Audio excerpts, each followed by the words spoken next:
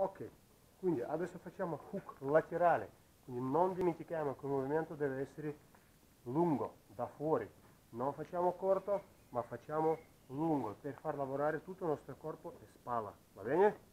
ok preparati guarda a destra va indietro guarda 1 1 2 3 4 5 6 7 8